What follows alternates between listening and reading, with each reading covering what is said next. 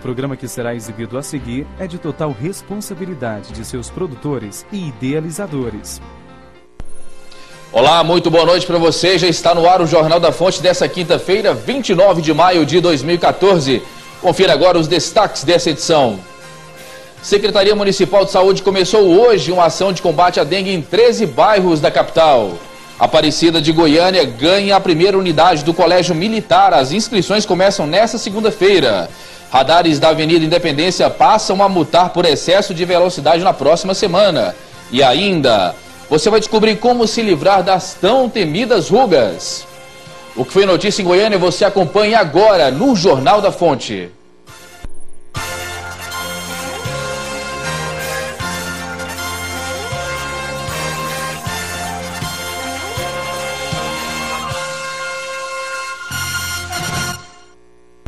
Está marcada uma Assembleia Geral no dia 5 de junho no Paço Municipal para discutir sobre a data base dos trabalhadores municipais. O presidente do Sind Goiânia não descarta uma possível paralisação geral.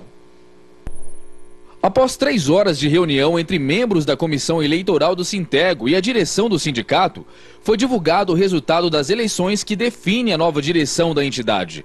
As eleições foram realizadas nos dias 21 e 22 desse mês, e com o resultado, foram eleitas integrantes da atual direção do sindicato. Bia de Lima foi eleita presidente e Eda Leal vice. De acordo com o Sintego, a chapa vencedora obteve mais de 7.800 votos, contra 7.532 da chapa de oposição. Nós temos vários desafios. Ah, é importante nós é, acreditarmos no processo e fazer com que o Sintego continue sendo o sindicato de referência de todos os trabalhadores da educação do Estado de Goiás. De acordo com a Comissão Eleitoral do Sintego, houve irregularidades na votação ocorrida em Rio Verde. Com isso, os cerca de 500 votos dos filiados ao sindicato no município foram anulados. Lá em Rio Verde, porque a comissão passou orientação da questão do, da, da, forma de colher os votos, né? de fazer com que os eleitores, né, os professores, pudessem ir até a, a urna e poder votar. E lá foi deram um outro encaminhamento, com isso colocando em dúvida o processo de Rio Verde. Durante a reunião, simpatizantes da chapa de oposição protestaram em frente ao sindicato. O professor Delson Vieira, que encabeça a chapa de oposição, alega que as eleições realizadas em Rio Verde são válidas. Segundo Delson, sua chapa teve 447 votos na cidade, contra 63 da chapa vencedora. Para ele, houve manipulação no processo eleitoral. Não sinto derrotado, nós vamos tomar todas as medidas necessárias. Eu tenho certeza que a categoria não deixará que essas, que essas duas é, manobrem dessa forma e administrem o sindicato, porque estão aí há três gestões e não fizeram nada que pudesse garantir melhoria nas condições de trabalho, nas condições salariais dos trabalhadores da educação do estado de Goiás. Mesmo com os protestos, integrantes da chapa vitoriosa fizeram uma carreata nas proximidades do sindicato. E em nota, a assessoria da Prefeitura de Goiânia disse que o órgão não está se manifestando sobre o assunto. A Secretaria Municipal de Saúde de Goiânia inicia hoje uma ação especial de combate à dengue em 13 bairros da capital. Aproximadamente é, 85 mil imóveis serão vistoriados por 425 agentes de endemia. Acompanhe. Levantamento rápido da infestação predial da Secretaria Municipal de Saúde, realizado no final de maio, mostrou que mais de 50% dos bairros de Goiânia apresentaram índices menores que 1%, valor recomendado pelo Ministério da Saúde. Por outro lado, 49% ainda estão com índices elevados. A lista possui 13 bairros nessa situação. Vila Santa Helena, Vila Nova, Setor Universitário, Conjunto Aruanã, Setor Novo Mundo, Recanto das Minas Gerais, Jardim América, setores Bueno, Marista, Sul e Oeste. São bairros populosos, antigos, né? E que é, tem é, mais opções de, de, de, de, criadouros. Então, desde a calha, a, muitas plantas, né, são bairros antigos, tá? as pessoas têm muitas plantas, plantas que, vasos de planta que acumulam água, às vezes o, um, um, um quarto no fundo, um banheiro que está desativado e ali fica um pouco de água. A ação dos cerca de 425 agentes de endemia será intensificada nesses bairros, visitando 85 mil imóveis para fiscalizar os possíveis criadouros do mosquito da dengue. É, isso é a principal função nossa aqui de alertar a população que a dengue, mesmo agora no período seco, ela continua transmitindo. É lógico que diminui bastante, porque para de chover, o tempo fica mais, mais frio, né, mais seco. Mas o mosquito, mesmo assim, ele consegue encontrar muitos criadouros nas residências. Então as pessoas precisam se conscientizar, manter seus quintais, suas casas sem água parada, porque a, a, o risco continua menor, mas continua. Seu Paulo recebeu nota 10 para o seu quintal. Depois de ter tido dengue duas vezes, ele, além de cuidar da sua casa, orienta os vizinhos. Toda a vida eu cuidei das plantas, como daqui, como na casa do doutor Ed Brito. É. Lá os velhos tudinho, né? Plantinha para danar, viu? E tudo bonito.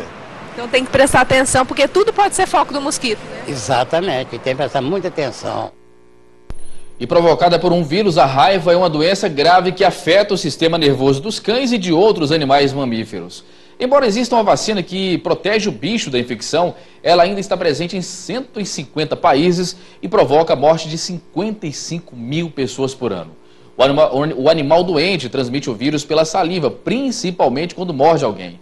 Dados da Organização Veterinária Internacional mostram que no mundo todo 15 milhões de pessoas são tratadas por ano Todos os anos por exposição à raiva é muita gente, né, pessoal? Pacientes reclamam da falta de medicamentos que controlam a pressão alta e o diabetes em unidades de saúde. Por causa do déficit, os pacientes estão tendo que incluir os medicamentos no orçamento familiar. Esse grupo de amigas enfrentam o mesmo problema. Não conseguem pegar os medicamentos que controlam a pressão alta e o diabetes na rede básica de saúde. A aposentada Nívia Carvalho conta que, assim como as amigas, faz três meses que tenta pegar os medicamentos atenolol, losartana potássica e cloridrato de metformina na unidade básica de saúde do Veiga Jardim 3. Mas quando chega lá, a resposta é sempre a mesma. E aí, o jeito é comprar os remédios. O caso do, do, dos remédios, quando não tem no postinho, eu tenho que comprar, né? Porque eu não posso ficar sem. Porque se eu ficar sem, o meu tratamento ele para, porque a diabetes, ela tem controle, mas se você não tomar a medicação certinha, você complica, você fica cega, você pode perder, você pode, um, um membro do seu corpo pode ser amputado. Além da falta de medicamentos, a senhora sofre de artrose. Ela procurou ajuda médica na unidade e o clínico geral deu encaminhamento para ela fazer uma avaliação com o médico ortopedista. E desde o dia 19 de junho do ano passado, ela está aguardando a consulta. Falou para mim que eu já estava na fila de cirurgia, mas o médico nunca, o ortopedista não me deu encaminhamento, como é que eu estou na fila da cirurgia? Que tem mais de 1.500 pessoas aguardando cirurgia ortopédica. Mas o médico não me deu encaminhamento, então como que o meu nome está lá? Nós acompanhamos Dona Joana à unidade de saúde e de uma receita com seis medicamentos prescritos, ela vai voltar com dois deles para casa. Outros dois, a atendente da unidade informou que ela deve pegá-los na farmácia distrital de Aparecida de Goiânia. Um, ela informou que não chega na unidade de saúde e o atenolol está em falta na unidade. As profissionais não autorizaram nossa equipe mostrar a farmácia do posto. A atendente da Unidade Básica de Saúde do Veiga Jardim 3 nos informou que realmente a reclamação da dona Nívia procede. A unidade ficou três meses sem receber os medicamentos, mas recebeu esta semana, mas em pequena quantidade. Enquanto a situação não se normaliza, Dona Nívia e as amigas terão que incluir os medicamentos no orçamento familiar. Que situação. Em nota, a Prefeitura de Aparecida, por meio da Secretaria de Saúde, informou que a distribuição dos medicamentos citados na reportagem serão normalizados na próxima semana. A gente vai continuar acompanhando isso. Em relação ao atendimento da senhora Joana Dark Rosa, a consulta já foi marcada para a próxima semana, dia 5 de junho, com um médico especialista.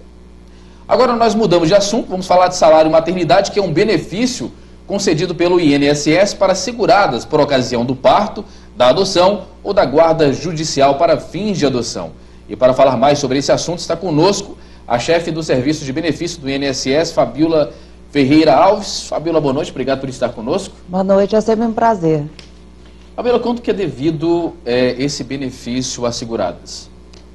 Ele é um benefício devido à segurada filiada ao INSS, as trabalhadoras em geral, as contribuintes individuais, as empregadas formais de carteira assinada, as trabalhadoras rurais, que é uma categoria né, que normalmente de, desconhecem o, o, de, o seu direito. Enfim, a todas as, as trabalhadoras. Existe algum tipo de tempo de carência é, da contribuição dessas trabalhadoras para ter direito ao benefício? Assim, a contribuinte individual, seja, ela tem que ter 10 meses de contribuição antes do evento, antes do parto. Se o parto se antecipar, essa carência também é, é diminuída. Agora, as empregadas domésticas não têm a carência e a empregada da empresa também não. Só que as empregadas de empresa, as formais de carteira assinada, esse benefício ele é pago pelo empregador o empregador paga e depois ele é restituído pelo INSS. As demais devem requerer o seu benefício nas agências do INSS. O salário, ele é o mesmo ou ele sofre alteração ao longo dos, dos meses da licença maternidade? Os benefícios do INSS, eles são reajustados em data fixas, né? Se durante o recebimento ocorrer, que é janeiro, ocorrer o, o aumento, o benefício é reajustado também. No caso de uma consultora de venda, mulheres que trabalhem aí com comissões, a comissão é levada em consideração, a média? Ah, excelente essa pergunta. É, tudo que compõe o salário de benefício, ele entra no cálculo do salário maternidade. Se a comissão está sendo taxada né, com a, a, contribuição do INSS, isso também vai entrar no cálculo do, do benefício dela. Fabiola, se Deus o livre guarde, a gente torce para isso não acontecer, mas se o bebê acabar falecendo dentro do, do período da licença maternidade, ela é cortada da beneficiária? Não, ela não é cortada. A partir de 28 semanas é considerada gravidez a termo e aí ela recebe o período completo, porque não é pelo nascimento, não é? É pela gravidez. O benefício ele é pago pela gravidez. E caso dos natimortos, também o benefício é pago integralmente. Se Deus o livre guarde, eu estou um pouco pessimista, mas essas situações acabam acontecendo. Se a mãe vier a falecer, o pai ele consegue algum tipo de benefício similar à licença maternidade? Não, não tem previsão. Tem previsão de pagamento ao pai adotante, não é aos adotantes em geral, mas no caso do falecimento da mãe, não, o benefício não, não pode ser recebido pelo pai. Bom, falamos de falecimento, vamos tirar isso aqui da nossa pauta então. Fabiola, se a, a mulher, a, a gestante, tiver dois empregos formalizados, é, ela vai ter direito a, a, uma licença só? Ela escolhe ou ela tem direito aos dois, a, a duas, dois benefícios da licença maternidade? Não, ela se o, tem que ver o cálculo do, do, dos dois salários, né? Se ela tiver, se, se um salário já for o teto, aí ela recebe só um. Se não for, soma os dois e concede o benefício com base nos dois, nos dois empregos. No caso de adoção, os direitos são os mesmos? é, da licença maternidade? Sim, a mãe adotante tem o mesmo direito da mãe biológica. Tem o mesmo direito, né? Mesmo direito. Não, muito bem. Nós falamos de um tema muito relevante que está aí à tona todos os dias, que é a concessão da licença maternidade. Conversamos com a Fabiola Ferreira Alves, chefe de serviço de benefício do INSS. Muito obrigado pela participação da senhora. Uma boa noite. Boa noite. Eu que agradeço o espaço sempre aqui na TV Fonte.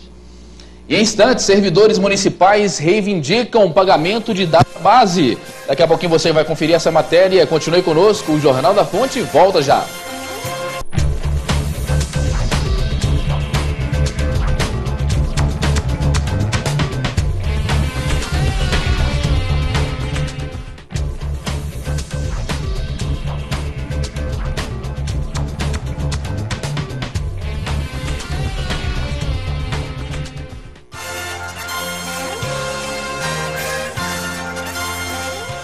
De volta com o Jornal da Fonte, cresce procura por técnica de preenchimento facial. O método é indicado não só para eliminar rugas, mas também para restaurar o contorno e o volume do rosto.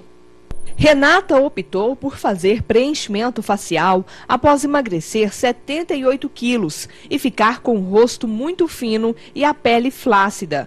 Ela passou por oito procedimentos faciais para o resultado tão almejado. Fiz maçã, mandíbula, maxilar, bigode chinês, nariz, queixo, lift na sobrancelha, olheira e botox na testa. Me sinto outra pessoa, minha autoestima melhorou muito, muito mesmo, porque realmente deu uma diferença enorme.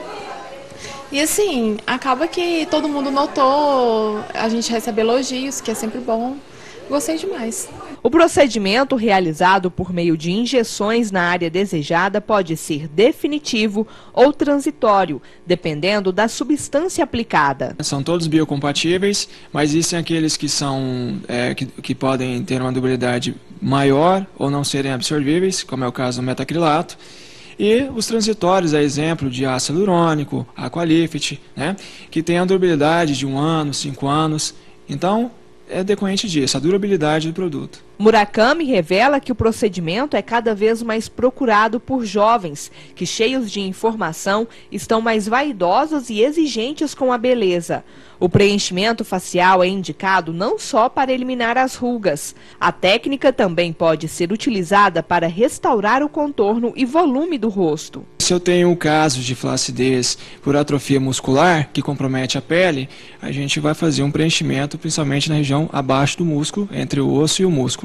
Se eu tenho que aumentar um pouquinho mais o volume superficialmente, onde a, o rosto ou a pele não seja tão comprometido com a flacidez, basta fazer um, um preenchimento mais superficial na região da gordura. O método sem corte apresenta algumas vantagens. A vida é, seguiu normal, sem me atrapalhar com o trabalho, sem atrapalhar com a minha vida pessoal mesmo. E atenção para essa informação, trabalhadores têm até o dia 30 de junho para sacar o benefício do abono salarial. 59.252 trabalhadores em Goiás ainda não sacaram o abono salarial PIS-PASEP. Dos 726.782 identificados, 667.530 já foram pagos, representando 91,85%. Segundo o superintendente regional do Trabalho e Emprego em Goiás, o trabalhador tem até o dia 30 de junho para realizar o saque. Todos aqueles trabalhadores que em, até julho do ano passado é, recebeu salário de até dois salários mínimo, já estava cadastrado no PIS há mais de cinco anos e tenha trabalhado pelo menos 30 dias no ano base. Né? Todos esses trabalhadores têm direito. Estão à disposição do trabalhador goiano 42 milhões de reais. Aquele que não realizar o saque perderá o benefício e o dinheiro será reencaminhado a outros programas do governo federal. Esse recurso volta para o Fundo de Amparo do Trabalhador para financiar é, novas casas é, moradia do programa Minha Casa Minha Vida, por exemplo, ou o sistema de saneamento básico. Né? O abono salarial é no valor de 724 reais. Na dúvida, o superintendente orienta que o trabalhador busque informação. Qualquer agência lotérica ou agência da Caixa Econômica Federal, ele pode chegar com a identidade CPF, leva o PIS, se você levar o PIS fica mais rápido ainda a procura. E o Comando de Ensino da Polícia Militar de Goiás publicou na última terça-feira o edital para o preenchimento de 600 vagas no Colégio Militar Sargento Nader Alves dos Santos, que fica no setor Pontal Sul 2, em Aparecida de Goiânia. E para nos trazer informações sobre esse assunto, está conosco o diretor da unidade Major Virgílio. Major, boa noite. Boa noite. Prazer tê-lo aqui no Jornal da Fonte. Prazer é nosso. Major, como que os pais que nos assistem nesse momento podem fazer as inscrições para essa unidade escolar que chega em Aparecida? As inscrições elas estão abertas a partir de segunda-feira, das 8 horas da manhã até as 17 horas. E para fazer a inscrição, os pais precisam levar a declaração de frequência, lembrando que não é a declaração de transferência, declaração de frequência, porque o pai vai concorrer a uma vaga. Então ele leva a declaração de frequência para provar a série que o aluno está estudando, ele leva o comprovante de endereço, o xerox da certidão de nascimento ou identidade da criança ou adolescente e o xerox da identidade também do responsável. Do responsável. É, esse é o primeiro colégio militar que está sendo implantado em Aparecida de Goiânia, não é isso? Isso, exatamente. É o primeiro colégio militar do município e estamos aí oferecendo a PM, juntamente com a Secretaria de Educação, neste primeiro momento, 600 vagas. São quantos colégios ao longo do estado de Goiás, colégio militar, Major? Hoje nós temos 16 colégios implantados, mais dois colégios é, que estão sendo é, implantados no, no momento. Mas temos outros colégios também que foram criados por leis por lei, mas ainda não está em funcionamento, como é a cidade de Palmeiras. Bom, o, munic... É, o, o colégio ele fica no setor Pontal Sul 2. Já vou fazer duas perguntas para o senhor. É um local estratégico, né, a, a, construção desse colégio nesse bairro. Eu queria saber também se apenas os aparecidenses, as crianças que residem em Aparecida, poderão fazer a inscrição para tentar pleitear uma vaga no colégio. É, primeiramente, o colégio ele fica num, numa região centralizada do município. O setor Pontal Sul ele está bem na região central, de forma que ele possa atender todo o município. É, a segunda pergunta, é, a Polícia Militar e a Secretaria de Educação é para toda a sociedade. Então, a gente não pode é, falar, restringir só para quem mora em Aparecida. A educação e segurança é para todos os cidadãos. Você é da zona rural, sede, cidade próxima, todos são bem-vindos. Agora, existe, não só nesse colégio militar, porque né, todos seguem um padrão, é, no colégio militar do estado de Goiás, de uma forma geral, Major, existe algum percentual para crianças carentes ou é tudo via sorteio? Não, hoje, antigamente, fazia-se prova. A prova, ela tem a vantagem de pegar o melhor aluno, mas ela tem a desvantagem de aquela criança carente não ter oportunidade de adentrar o colégio. Então, o sorteio é uma forma mais ecumênica. Então, a criança carente, como aquela criança é, de, de uma família de melhor situação financeira, todos são bem-vindos ao colégio. Depende um pouquinho da sorte, que o sorteio é sorte. O colégio militar é muito requisitado, inclusive, por pessoas né, da classe AB. Né? Tem muita gente que prefere colégio militar, até colégio particu colégios particulares. Quais são os diferenciais, Major, do Colégio Militar? É a parte pedagógica, é a disciplina? O que, que o senhor pode relatar para a gente sobre isso? Muitos acreditam que o diferencial do Colégio Militar é a disciplina. Mas não é a disciplina isolado. A força do Colégio Militar é, é o ensino público. Porque os nossos professores, os professores do Colégio Militar, ele é um professor da rede pública. E ele tem ali dentro da escola militar essa oportunidade de mostrar justamente todo esse potencial do ensino público. Por, é por isso que todas as escolas militares são escolas públicas em nosso estado. Nosso tempo estourou rapidamente, Major. Nós tivemos aí é, alunos do colégio, do colégio Militar do Estado de Goiás que foram premiados, é, passaram em boas colocações no Enem, não é isso? É, nós atualmente somos o Colégio Militar, é o primeiro colégio do Enem, do último Enem é, o, o, primeiro lugar do IDEB, da, das escolas públicas, também é do Colégio Militar. É, no último Enem, nós tivemos aí um aluno do Colégio Militar, Hugo de Carvalho Ramos, que foi o primeiro aluno do Brasil é, no, no, no último Enem. Então, a escola militar vem mostrando essa força e realmente da, do ensino público em nosso Estado. Muito bem, nós conversamos com o Major Vigílio, ele que é diretor do Colégio Militar Nader Alves dos Santos, o primeiro colégio militar do município de Aparecida de Goiânia. Muito obrigado pela participação do senhor, boa sorte no colégio, até a próxima. Obrigado. E olha só, motoristas que trafegarem pela Avenida Independência a partir de amanhã terão que redobrar a atenção. É que os radares que estão ao longo da via passarão a multar por excesso de velocidade quem não respeitar o, o limite permitido. A medida disciplinar começa a valer a partir dessa sexta-feira e é fruto de um estudo realizado pela SMT constatando que a Avenida Independência é um dos pontos da capital com maior índice de acidentes registrados, sendo o principal motivo o excesso de velocidade. Em resposta a essa violência, a SMT então, está monitorando o local nesse trecho entre a Quinta Avenida e a 74, a Rua 74, na Avenida Independência, para que a velocidade seja mais compatível em defesa da vida. Denivaldo trabalha há 12 anos às margens da Avenida Independência e já testemunhou vários acidentes. Mas sempre tem moto, carro. E sempre por passo agora assim que alta velocidade, né? Agora com esse negócio aí que eles colocaram, né? é, para passar só com 60, né? talvez agora diminua, né? Ao todo, quatro radares estão espalhados ao longo da avenida. E é bom o motorista ficar atento às mudanças, para evitar multas e dor de cabeça. Os radares estão instalados nos seguintes cruzamentos da Avenida Independência, com a Rua 68, Rua 74 e Avenida Goiás no centro, e no cruzamento com a Quinta Avenida na Vila Nova. Até então, os radares instalados aqui na Avenida Independência só autuavam o avanço de sinal e a parada sobre a faixa de pedestre, mas com a mudança, quem ultrapassar a velocidade estabelecida irá sentir no bolso o ato imprudente. A multa ela pode gerar de R$ 85,13 a 574 reais, dependendo da ultrapassagem do excesso de limite, do excesso da velocidade que ele, que ele é, é, passar por aqui. E para alertar os motoristas sobre a mudança, foram instaladas faixas informativas ao longo da via. Motoristas que trafegam pela avenida apoiaram a iniciativa. Evitar mais acidente, né? Eu acho correto, só porque tinha que ter outras melhorias também que nós não tem. Tem muita gente que às vezes ultrapassa o limite de velocidade, né? E isso pode acarretar muitos problemas, acidentes, né? Eu acho que isso é justo, né? Para ter um, um trânsito melhor e mais seguro, né? E agora uma última informação, prefeitos de 23 municípios goianos continuam reunidos na sede das BAN em Goiânia para discutir quem será o pré-candidato pelo partido ao governo de Goiás nas eleições desse ano.